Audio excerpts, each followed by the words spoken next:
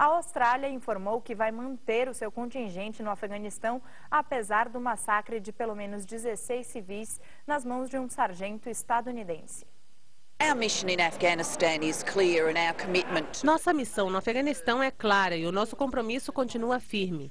É claro que um incidente como este é verdadeiramente preocupante, mas não vai nos desviar do nosso objetivo no Afeganistão e o nosso sentido claro de missão nesse país.